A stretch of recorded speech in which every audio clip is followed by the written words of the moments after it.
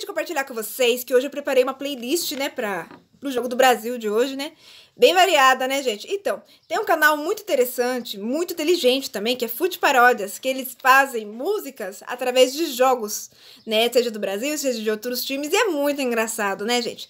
Então, eu resolvi pegar algumas para estar tá curtindo hoje dos jogos que já foram, né? Que teve o gol do Pombo, teve o gol do Casemiro, né? Então, são essas as músicas, né? Tem a paródia do Pombo, né? Que é aquela lá, né? Pombo, e de Pombo, que é, é a é, eu acho muito engraçado, né? Porque fala narina de pombo pro Richarlison, né, gente? Foi o primeiro jogo do Brasil, porque ele foi, né, o destaque, com certeza. Então, fizeram uma paródia para ele, né? E daí teve também a do Casemiro, que deu trabalho à Suíça lá, né? Que daí fala mais ou menos assim, né?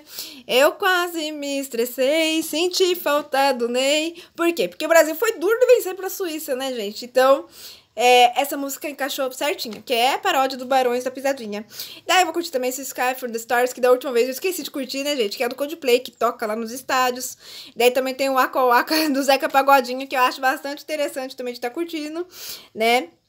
É, também tem aquela lá do SBT, né? Vai lá, Brasil, que a hora é essa, esse ano eu vou querer o Hexa, né? Daí também tem, né, gente, a do...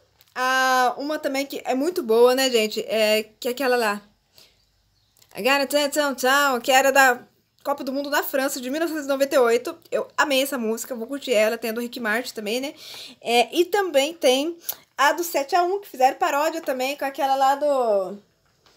Aquela música do Mamona, subiu sim, subiu sim, sabe? Fala, né? em questão do inesquecível 7 a 1 Né, gente? Então é essas as musiquinhas que eu vou estar curtindo para vocês para o jogo de hoje, Brasil e Camarões. E é isso.